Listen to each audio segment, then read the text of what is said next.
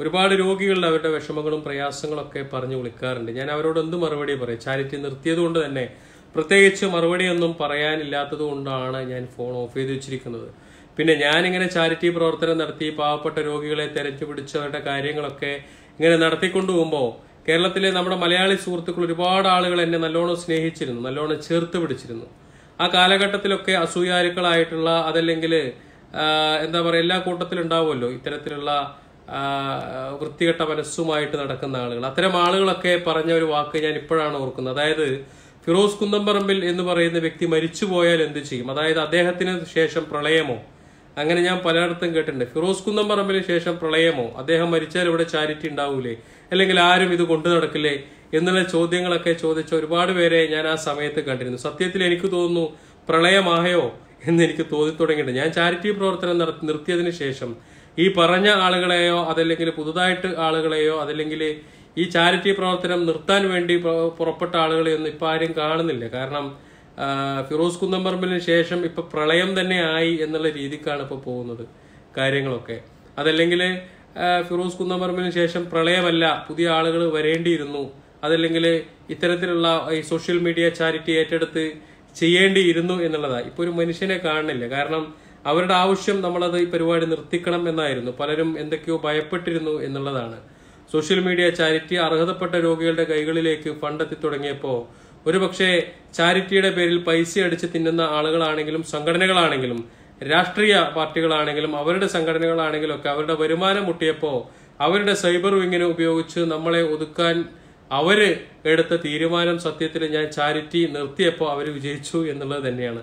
അപ്പോഴും ഞാൻ ഈ ചാരിറ്റി പ്രവർത്തനം അവസാനിപ്പിക്കുമ്പോൾ എന്റെ മനസ്സിൽ കണ്ടത് നേരത്തെ പറഞ്ഞതുപോലെ ഫിറോസ് കുന്നംപറമ്പിന് ശേഷം പ്രളയമാണോ എന്ന് ചോദിച്ച ആളുകൾ ഇത് ഏറ്റെടുക്കുമെന്നായിരുന്നു. പക്ഷെ ഇപ്പൊ ഒരു മനുഷ്യൻ ഇത് ചെയ്തു കാണുന്നില്ല. ഒരാളും ചെയ്ത് കാണുന്നില്ല. ചെയ്യുന്ന ആളുകളുടെ വീഡിയോയിൽ പൈസ വരുന്നത് കാണുന്നില്ല. പല ആളുകളും പല രീതിയിലേക്കും പോകുന്ന ഒരു സാഹചര്യം വന്നു എന്നുള്ളതാണ്.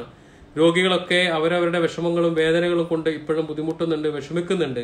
കിഡ്നി മാറ്റിവെക്കേണ്ട രോഗികൾ ലിവർ മാറ്റിവെക്കേണ്ട രോഗികൾ മാരകമായ അസുഖം ബാധിച്ച രോഗികളൊക്കെ ഇന്നും ഈ പറയുന്ന എന്താ പറയാ ആ ഒരു പഴയ ലെവലിൽ തന്നെ നിൽക്കേണ്ട ഒരു സാഹചര്യമാണ്. കാരണം ഇത്തരം പാവപ്പെട്ട ആളുകളെ തിരിഞ്ഞു നോക്കാൻ ഒരു മനുഷ്യനുണ്ടാവൂല നന്മ ചെയ്യുന്ന ആളുകളെ ഇല്ലാതാക്കാനും അവരെ അടിച്ചമർത്താനും അടിച്ചോടിക്കാനൊക്കെ ഒരു ആളുകൾ ഉണ്ടാവും പക്ഷേ ഇത്തരം ആളുകളെ ചേർത്ത് പിടിക്കാൻ ഒരു മനുഷ്യനും ഉണ്ടാവില്ല എന്നുള്ളത് തന്നെയാണ്. അതാണ് സത്യം.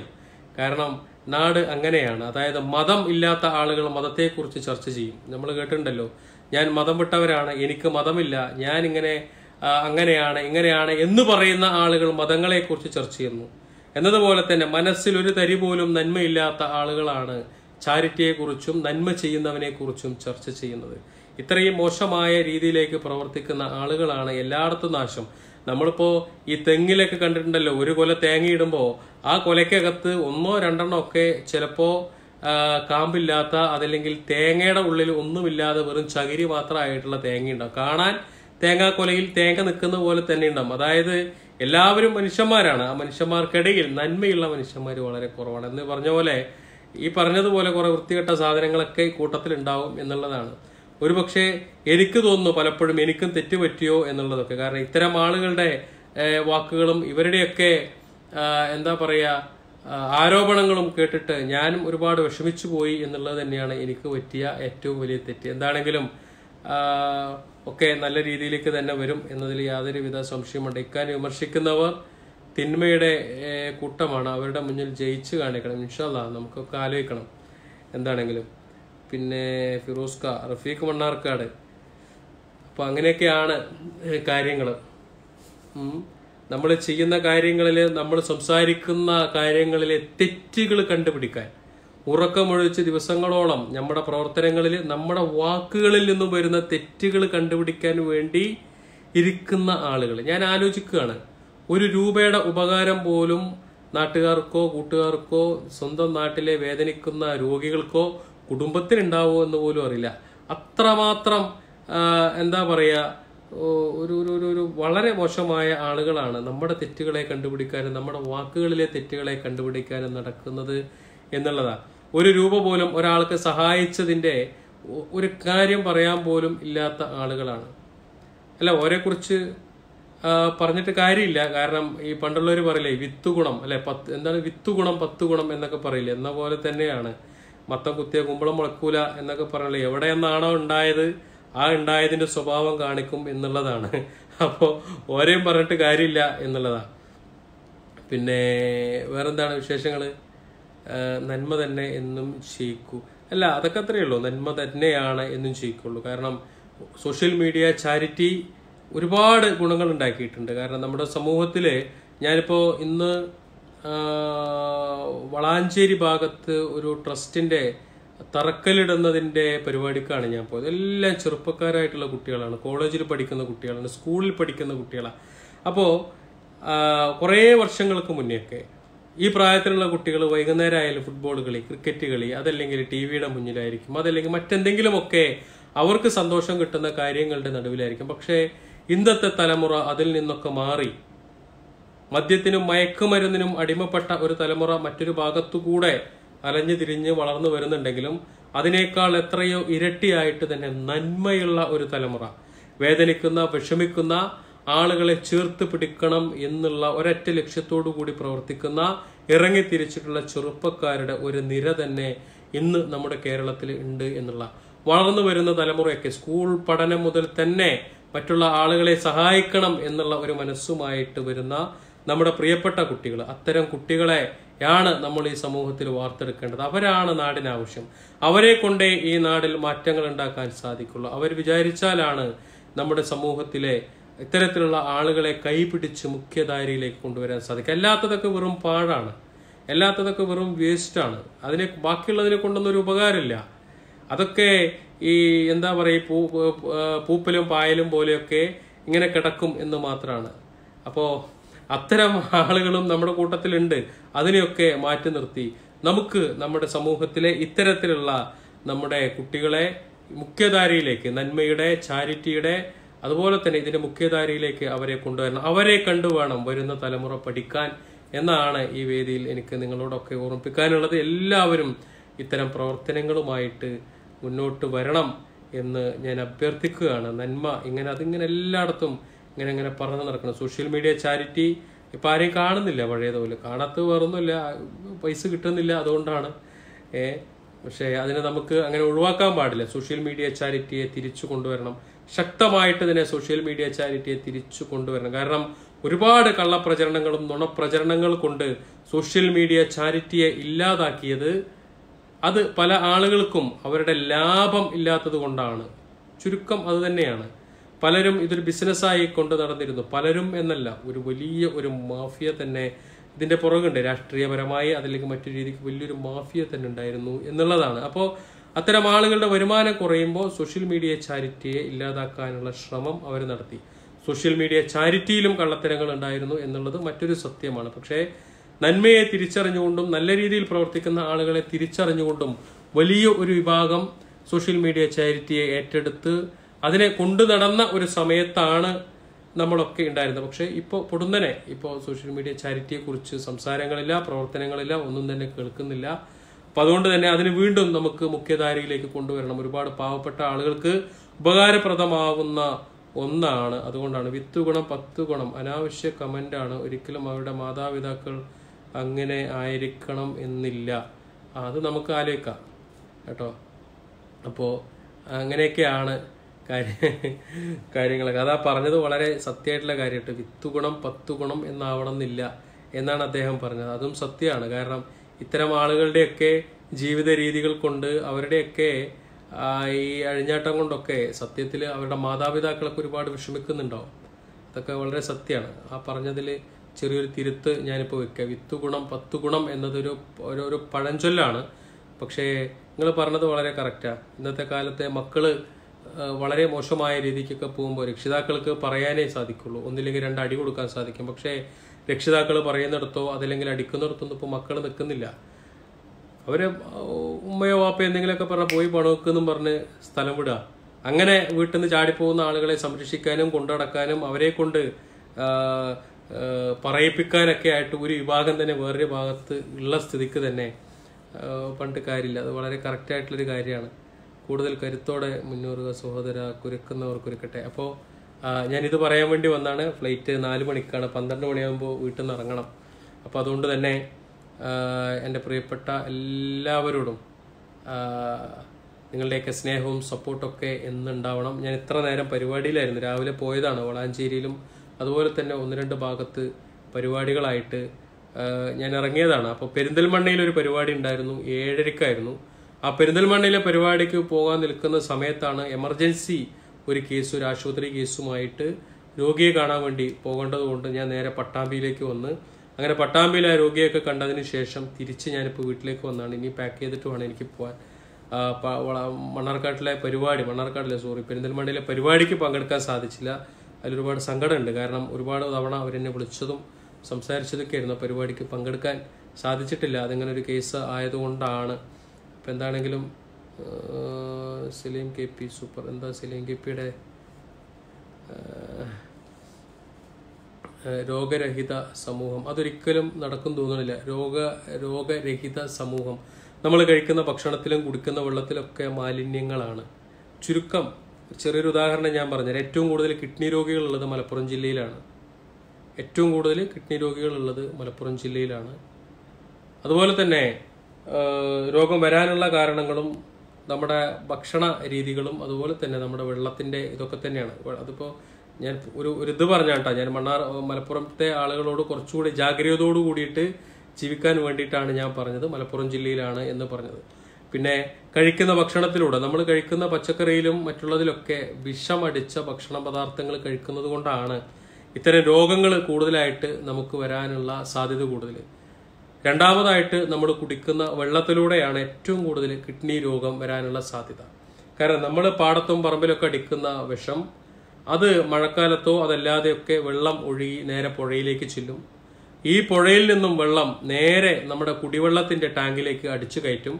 അത് ഫിൽട്ടർ പോലും ചെയ്യാതെയാണ് പല ഭാഗങ്ങളിലും പൈപ്പിലൂടെ കുടിവെള്ളമായിട്ട് എത്തിച്ചു കൊടുക്കുന്നത്. അപ്പോൾ ഈ പാടത്തും പറമ്പിലും അടിക്കുന്ന വിഷം നേരെ വെള്ളത്തിലേക്ക് കലരും ആ വെള്ളം പുഴയിലേക്ക് എത്തും പുഴയിൽ നിന്നും അതടിച്ച് ടാങ്കിലേക്ക് കയറ്റും അതങ്ങനെ മനുഷ്യന്മാർ കുടിക്കും അസുഖങ്ങൾ ഉണ്ടാവും അപ്പോൾ ഏറ്റവും നല്ലത് ഫിൽട്ടർ ചെയ്ത വെള്ളം കുടിക്കാനുള്ള ഒരു സംവിധാനമൊക്കെ ചെയ്യുകയാണെങ്കിൽ സാധാരണക്കാർക്ക് അത് കുറച്ച് ബുദ്ധിമുട്ടുള്ള ഒരു കാര്യമാണ്.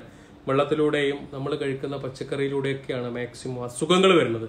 അപ്പോൾ അതുകൊണ്ട് അതെങ്ങനെ ഇല്ലാതാക്കാം എന്നതിനെക്കുറിച്ച് ചിന്തിക്കൽ നടക്കുന്ന കാര്യമല്ല. കാരണം എല്ലാവരും ആ ഒരു ഭക്ഷണ രീതിയിലേക്ക് നമ്മളൊക്കെ മാറിക്കഴിഞ്ഞു എന്നുള്ളതാണ്. അതിലേക്ക് പുറത്തു വരാനുള്ള കാര്യങ്ങൾ ജനങ്ങളോട് പറഞ്ഞാൽ ആരും ശ്രദ്ധിക്കില്ല. ഒരു പറയും ഇപ്പൊ എന്തായാലും ഇപ്പോൾ നമുക്ക് മാത്രം എല്ലാവർക്കും വരൂലേ?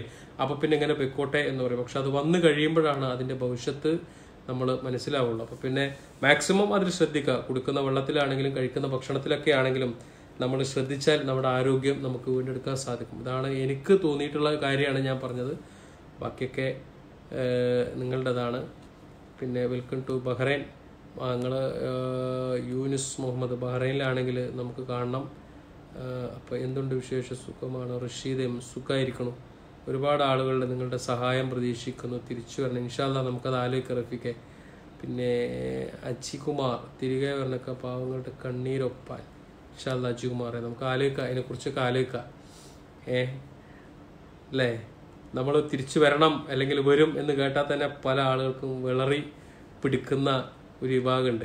അപ്പം ഞാൻ ആ പാവങ്ങൾ സുഖമായിട്ട് സന്തോഷത്തോടെ ഇരുന്നോട്ടെ എന്ന് വെച്ചിട്ടാ. അപ്പോൾ പിന്നെ വേറെന്താ? റഫീഖ് അരീകോട് ഇപ്പോൾ നിങ്ങൾ ലൈവിൽ വരുമ്പോൾ ഉപ്പില്ലാത്ത കഞ്ഞി പോലെയാണ് തോന്നുന്നത്. അതങ്ങനെയാണ്. ഉപ്പില്ലാത്ത കഞ്ഞി പോലെ തോന്നണമെന്നാണ് പറയണത്. ചില ആളുകൾ അങ്ങനെ അവർക്ക് അല്ലേ? ബഹ്റൈനിലേക്ക് സ്വാഗതം. ഗഫൂർക്ക ഗഫൂർ കൈപ്പമംഗലം. ഗഫൂർക്കാടെ ക്ഷണം സ്വീകരിച്ചാണ് ബഹ്റൈനിലേക്ക് പോകുന്നത് ഗഫൂർ കൈപ്പമംഗലം. അദ്ദേഹത്തിന്റെ അതുപോലെ തന്നെ അഷ്റഫ് അച്ചു നിന്റെ വീട്ടിലോട്ട് വരുന്ന പാവങ്ങൾക്ക് വേണ്ടി നീ തിരിച്ചു വരണം. എന്നും രാവിലെ നിന്റെ കൺമുന്നിൽ കാണുന്ന പാവങ്ങൾക്ക് വേണ്ടി. ഇൻഷല്ല ഞാനത് ആലോചിക്കുന്നുണ്ട്. കാരണം ഒരുപാട് ആളുകൾ വരുന്നുണ്ട്. എല്ലാ ഒരു ദിവസം ചുരുങ്ങിയത് നാലോ അഞ്ചോ കല്യാണത്തിന്റെ ആളുകൾ വരാറുണ്ട്. മക്കളെ കല്യാണം കഴിച്ചയക്കാൻ ഒരു വഴിയില്ലാതെ വരുന്ന ആളുകളുണ്ട്. അതുപോലെ തന്നെ നമ്മൾ ചാരിറ്റി പ്രവർത്തനം നടത്തിക്കൊണ്ടിരിക്കുമ്പോൾ തന്നെ നമ്മൾ വാക്ക് കൊടുത്ത് ഒരുപാട് കേസുണ്ട്. കിഡ്നി രോഗികൾ അതുപോലെ തന്നെ ലിവർ പേഷ്യന്റ് ഒക്കെ ആയിട്ട് ഒരുപാട് ആളുകളുണ്ട്. പലരും പ്രയാസത്തിലാണ് ബുദ്ധിമുട്ടിലാണ് വിഷമത്തിലാണ് ഒക്കെയാണ്. എന്നാൽ തിരിച്ച് അപ്പുറത്തൊരു വിഭാഗം ഇപ്പോഴും ഇങ്ങനെ നിൽക്കുന്നുണ്ട്. ഫിറോസ് കുന്നംപറമ്പിൽ കാറുണ്ടാക്കി മാളിക ഉണ്ടാക്കി പിന്നെന്താണ് വേറെ എന്തൊക്കെ ഉണ്ടാക്കി? സ്വിസ് ബാങ്കിൽ വരെ എനിക്ക് ബാലൻസ് ഉണ്ട് എന്ന് പറയുന്ന ഒരു വിഭാഗം അപ്പുറത്ത് നിൽക്കുന്നുണ്ട്. ഏ അപ്പം ഞാനിങ്ങനെ ആലോചിക്കുക ഇത് രണ്ടിന്റെ ഇടയിലേക്ക് കയറി വന്നു കഴിഞ്ഞാൽ ഇപ്പോൾ ഒരു സമാധാനമുണ്ട്. ടെൻഷനില്ല സന്തോഷമുണ്ട് സമാധാനമുണ്ട് കുടുംബത്തെ നേരത്തെ എത്തുന്നുണ്ട്. ചാരിറ്റി പ്രവർത്തനത്തിന് ഇറങ്ങിക്കഴിഞ്ഞാൽ ടെൻഷനാണ് സമാധാനം ഉണ്ടാവില്ല ശരിക്കും ഒരു യന്ത്രം ഇങ്ങനെ ഓടിക്കൊണ്ടിരിക്കുന്നത് പോലുള്ളൊരു ഫീലാണ് ശരിക്കും പറഞ്ഞാൽ ചുരുങ്ങിയ സമയം ഈ ചാരിറ്റി പ്രവർത്തനം നടത്തിയ സമയത്തൊക്കെ ഒരു സ്വസ്ഥതയില്ലാത്ത ജീവിതമായിരുന്നു എന്നുള്ളതാണ് ചുരുക്കം. ഈ സ്വസ്ഥത ഇല്ലാതിരിക്കുമ്പോൾ ഞാൻ എന്റെ മനസ്സിനെ പറഞ്ഞു പഠിപ്പിക്കാറുള്ളത് ഒന്ന് ചീഞ്ഞാലാണ് മറ്റൊന്നിന് വള ആവുക എന്നുള്ളതാണ്. ഫിറോസ് കുന്നംപറമ്പലിന്റെ ജീവിതം ചീഞ്ഞു പോകുമ്പോൾ അതൊരുപാട് പാവപ്പെട്ട ആളുകൾക്ക് വളമാവും എന്ന് കരുതി തന്നെയാണ്. എന്നെ സ്നേഹിക്കുന്നവർ അല്ലെങ്കിൽ എന്റെ കുടുംബം എന്റെ മക്കൾ എന്റെ ഭാര്യ എന്റെ ഉമ്മ അവരെന്നെ കണ്ടില്ലെങ്കിലും അവരെന്നെ സ്നേഹിച്ചില്ലെങ്കിലും അവരെ എനിക്ക് കാണാൻ കഴിഞ്ഞില്ലെങ്കിലും അവരെ എനിക്ക് സ്നേഹിക്കാൻ കഴിഞ്ഞില്ലെങ്കിലും ഞാൻ ഇങ്ങനെ രാവും പകലും ഇല്ലാതെ ഓടി നടക്കുമ്പോൾ ഞാൻ ടെൻഷൻ അടിച്ചാലും എന്റെ തല പൊട്ടിത്തെറിച്ചാലും ഞാൻ എത്ര വിഷമിച്ചാലും ഞാൻ എങ്ങനെ ചീഞ്ഞു പോയാൽ ഞാൻ അങ്ങനെ വിഷമിച്ച് ഞാൻ അങ്ങനെ ചീഞ്ഞ് ഇല്ലാതാവുമ്പോൾ ഒരു പക്ഷേ ഈ ജീവിതം കൊണ്ട് ഒരുപാട് ആളുകൾക്ക് സഹായമാവും എന്ന് കരുതി ഇറങ്ങി തിരിച്ചതാണ് പക്ഷേ അനാവശ്യമായ വിവാദങ്ങളും വാക്കുകളും അതൊക്കെ കേൾക്കുമ്പോൾ മാനസികമായിട്ട് ഒരു വിഷമമുണ്ട്. കാരണം നല്ലൊരു മനസ്സുള്ളത് കൊണ്ടാണ് എനിക്ക് മറ്റുള്ളവരെ സഹായിക്കാൻ കഴിയുന്നത്. ആ മനസ്സിന് ഒരു പക്ഷേ ഇതൊക്കെ കേൾക്കുമ്പോൾ വിഷമമുണ്ടാവും. അതുകൊണ്ട് തന്നെയാണ്. അപ്പോൾ ബാക്കിയൊക്കെ നമുക്ക് ആലോചിക്കാം കേട്ടോ. അപ്പോൾ എന്തായാലും ബഹ്റൈനിലെ പരിപാടി കഴിഞ്ഞു വരാം. ഞാൻ ഇന്ന് ബഹ്റൈനിലേക്ക് പോകും പത്താം തീയതി വരെ ഞാൻ ബഹ്റൈനിലുണ്ട്. ബഹ്റൈനിലുള്ള എന്റെ എല്ലാ പ്രിയപ്പെട്ട സുഹൃത്തുക്കളെയും ഇതിന്റെ മുകളിൽ എഴുതിയിരിക്കുന്ന പരിപാടിയിലേക്ക് ക്ഷണിക്കുകയാണ്. ബാക്കി തിരിച്ചു വരണം തിരിച്ചു വരണം എന്ന് കമന്റാണ് കൂടുതലും. ബാക്കിയൊക്കെ നമുക്ക് ആലോചിക്കാം. നിങ്ങളുടെയൊക്കെ സഹായം സഹകരണം സപ്പോർട്ട് എനിക്കറിയാം എന്നെ സ്നേഹിക്കുന്ന ആളുകൾ നിങ്ങൾക്ക് സ്വിസ് ബാങ്കിൽ എത്ര ബാലൻസ് ഉണ്ട് എന്ന് വെളിപ്പെടുത്തണം.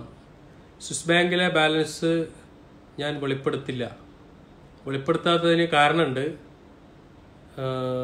അത് അതൊരു സീക്രട്ടാണ് അതിപ്പോൾ തൽക്കാലം ഞാനത് വെളിപ്പെടുത്താൻ തീരുമാനിച്ചിട്ടില്ല. കാരണം എന്താണെന്ന് വെച്ചാൽ എന്താ ഇതിനൊക്കെ അല്ലേ? ഭയങ്കര രസമാണ് സ്വിസ് ബാങ്കിലെ ബാലൻസ്. ഇവിടെ മനുഷ്യൻ ഓരോ ദിവസവും കഴിഞ്ഞു പോകുന്നതിന് പാട് എനിക്കറിയുള്ളൂ. പക്ഷേ ബഹ്റൈനിൽ വന്നിട്ട് കാണാൻ പറ്റുമോ?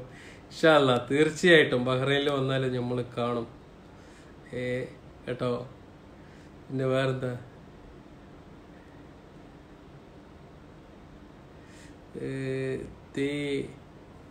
ദേ ലീഗുകാരൻ അസർമുല്ല.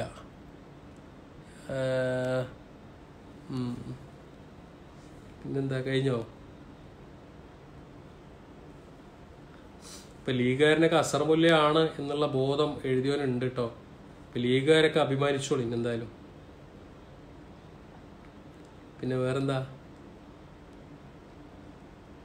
നിങ്ങളുടെ ഈ ലക്ഷ്യത്തിൽ നിങ്ങൾ മുന്നോട്ട് പോയാൽ ആർക്കാണ് ബായി നിങ്ങളെ തകർക്കാനാവുക.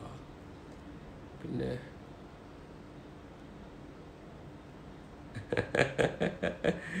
ഏയ് ഓന്റെ ലക്കറ്റ് മൂട് തോന്നിക്ക് എഴുതിയിട്ടുണ്ട് സാരല്ല. അല്ല അങ്ങനെ കുറേ മതമില്ലാത്ത ജീവനുകൾ. നമ്മുടെ ഫേസ്ബുക്ക് പേജിൽ കുറേ മതമില്ലാത്ത ജീവനുകൾ കയറി കമന്റ് ഇടും. പിന്നെ കുറേ വർഗീയത തുലയട്ടെ എന്ന് പറയുന്ന കുറേ ഊളകളും വരും. അപ്പോൾ അതൊന്നും നമ്മൾ മൈൻഡ് ചെയ്യണ്ട എന്നുള്ളതാണ്. ഇനി ഇവിടുത്തെ കാരണം എന്താണെന്ന് വെച്ചാൽ അതങ്ങനെയാണ്. അങ്ങനെയുള്ള ആൾ അതങ്ങനെ മാത്രം ശീലിച്ച് ജീവിച്ച് അതല്ലെങ്കിൽ ആ ഒരു വികൃതമായ മനസ്സോടുകൂടി ജീവിക്കുന്ന കുറേ ഊളകളാണ് അപ്പം ഇതുകളെ അങ്ങനെ കണ്ടാൽ മതി എന്നുള്ളത് ഓരെന്തെങ്കിലുമൊക്കെ എഴുതിയിട്ട് പൊയ്ക്കോട്ടേനെ ആ ചൈനയിൽ അക്കൗണ്ട് ഉണ്ട്. ഉണ്ടെങ്കിൽ മൊത്തം പോയി. സില വി ചൈനയിൽ അക്കൗണ്ട് എടുക്കാൻ വേണ്ടി നിൽക്കുകയായിരുന്നു. ആ സമയത്താണ് ആ അസുഖം വന്നത്. അതുകൊണ്ട് ഞാൻ എടുത്തിട്ടില്ല. കേട്ടോ? ഹായ്. ഹാഫീസ്. പിന്നെ വേറെന്താ? പനങ്ങാങ്ങര ആ പനങ്ങാങ്ങര വന്നിരുന്നു. അപ്പോൾ ഹാപ്പി ചെണിക്ക പിന്നെ വേറെന്താ? ഈ സ്വിസ് ബാങ്ക് എന്ന് പറയുന്നത് എന്താ സംഭവിക്കുക സത്യമായിട്ട് എനിക്കും അറിയില്ല. സ്വിസ് ബാങ്ക് എന്താണ് എന്നുള്ളത്. ഞാനിങ്ങനെ പറഞ്ഞു കേട്ടിട്ടുണ്ട്. നമ്മുടെ നാട്ടിലെ കുറേ രാഷ്ട്രീയ പ്രമുഖർക്ക്. അതുപോലെ തന്നെ വലിയ വലിയ മുതലാളിമാർക്കൊക്കെ സ്വിസ് ബാങ്കിൽ അക്കൗണ്ട് ഉണ്ട്. കോടികൾ കിടക്കുന്നുണ്ട്.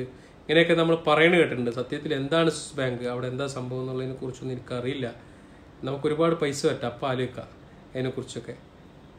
ആ ബിഗ് ബോസിന്റെ കാര്യം പറഞ്ഞപ്പോഴാണ് ഞാൻ അതിനെക്കുറിച്ച് എന്തായാലും ബിഗ് ബോസിലേക്ക് വരാം. ഞാൻ അതിനായിട്ടൊരു ലൈവ് ഇടണം എന്ന് വിചാരിച്ചാണ്. എന്താണെങ്കിൽ ഈ ലൈവിലൂടെ തന്നെ ആ കാര്യങ്ങൾ ഞാൻ പറയാൻ പോവുകയാണ്.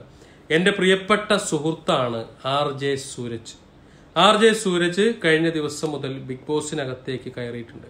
ആർ ജെ സൂരജിനെ സംബന്ധിച്ചിടത്തോളം പ്രവാസികളുടെ ചങ്കാണ്. സത്യമായിട്ടും കാരണം എന്താ വെച്ചാൽ ഖത്തറിലെ എല്ലാ പ്രവാസിയും ജീവന തുല്യം സ്നേഹിക്കുന്ന ഒരു വ്യക്തിയാണ് ആർ ജെ സൂരജ്. കണ്ണൂരിന്റെ പുത്രനാണ്. കണ്ണൂരിൽ ജനിച്ചു വളർന്ന ആർ ജെ സൂരജ്. ഏകദേശം ചുരുക്കി പറഞ്ഞ മലബാറിന്റെ സുൽത്താൻ എന്നൊക്കെ വേണമെങ്കിൽ പറയും. അത്രമാത്രം എല്ലാ മതങ്ങളെയും ബഹുമാനിക്കുകയും സ്നേഹിക്കുകയും ചെയ്യുന്ന ഒരു വ്യക്തിയാണ്. ഓരോ മനുഷ്യനെയും ഞാൻ സത്യത്തിൽ ആ, വ്യക്തിബന്ധങ്ങൾ അതല്ലെങ്കിൽ സുഹൃത്ത് ബന്ധങ്ങളെ ഇത്രമാത്രം എന്താ പറയുക ചേർത്ത് പിടിച്ച് മുന്നോട്ട് പോകുന്ന ഒരു വ്യക്തിത്വത്തെ ഞാൻ കണ്ടിട്ടില്ല എന്നുള്ളതാണ്.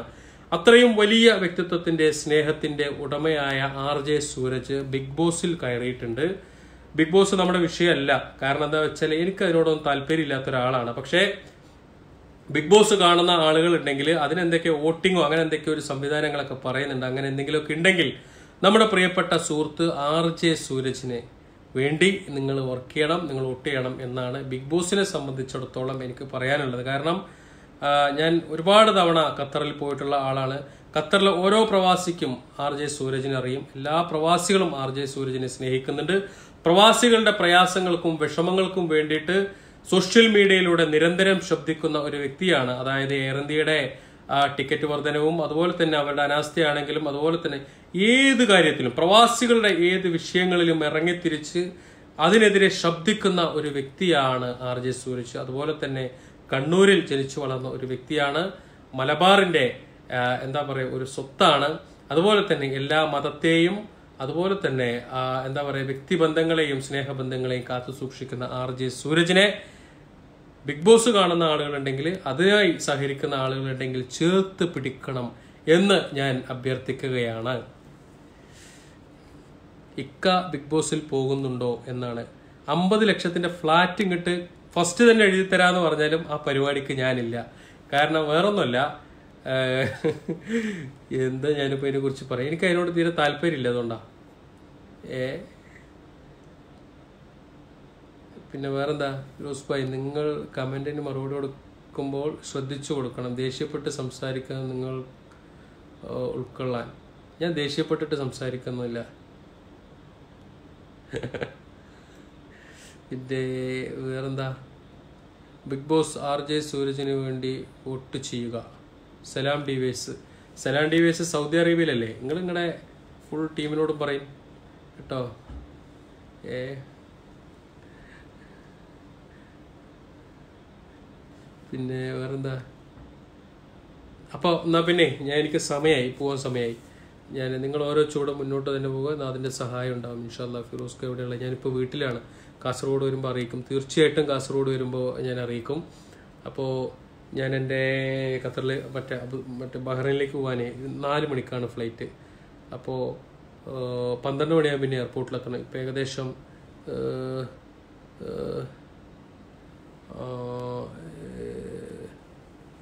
താങ്കൾ ഏത് മന്തിക്കടയിലാണ്? ഞാൻ ഇന്ന് മന്തിക്കടയിലൊന്നും പോയില്ല. ഇന്ന് മന്തി കിട്ടി ഒരു വീട്ടിൽ പോയപ്പോൾ അവിടെ നിന്ന് മന്തി കഴിച്ചിട്ടാണ് ഇപ്പോൾ വന്നത്.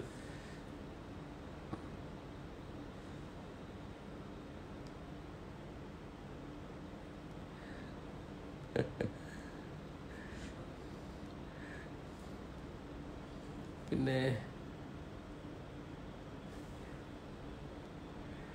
ഇതേ തസ്ലീം തെക്കത്ത് വർഗീയത തുലയട്ടെ എന്ന് ഇനിയും ഇനിയും പറയും. ഞാൻ പറഞ്ഞതേ വർഗീയത തുലയട്ടെ എന്ന് പറഞ്ഞ എല്ലാവരും അല്ല വർഗീയത തുലയട്ടെ എന്ന് പറഞ്ഞ പ്രൊഫൈൽ പിക്ചർ വെച്ചിട്ട് വരുന്ന ചില ഊളകളുടെ കാര്യം പറഞ്ഞത് എല്ലാവരും അല്ല കാരണം എനിക്ക് തോന്നുന്നത് ജാതിയും മതവും നോക്കാതെ രാഷ്ട്രീയം നോക്കാതെ ഭൂരിപക്ഷം ആളുകൾ എന്റെ ചാരിറ്റി പ്രവർത്തനങ്ങളിൽ സപ്പോർട്ട് ചെയ്യുന്നുണ്ട്. അതിനകത്ത് വരുന്ന ന്യൂനപക്ഷം ചെറിയ ഒരു വിഭാഗം ഞാൻ പറഞ്ഞല്ലോ മാനസിക രോഗികൾക്കാണ് പ്രശ്നം. ആ പ്രശ്നമുള്ള ആളുകൾ വിവിധ പാർട്ടികളിലുള്ള ആളുകളാണ്. അതിൽ ഏറ്റവും കൂടുതലായി കാണപ്പെടുന്ന ആളുകളുടെ കാര്യമാണ് ഞാൻ പറഞ്ഞത്. അതല്ലാതെ എല്ലാവരും അല്ല കേട്ടോ. പിന്നെ വേറെന്താ? എന്നാൽ പിന്നെ ശരി എല്ലാവരോടും അപ്പോൾ നമുക്കിനി വേറൊരു ദിവസം കാണാം. ഓക്കെ? അപ്പോൾ ഇന്ന് നാളെ മുതൽ ബഹ്റൈനിലുണ്ട്. പത്താം തീയതി വരെ ഞാൻ അവിടെ ഉണ്ടാവും. അപ്പോൾ എല്ലാവരോടും പ്രവാസി സുഹൃത്തുക്കളെയൊക്കെ അവിടെ നിന്ന് കാണാം എല്ലാവരോടും അസ്സാം വലൈക്കും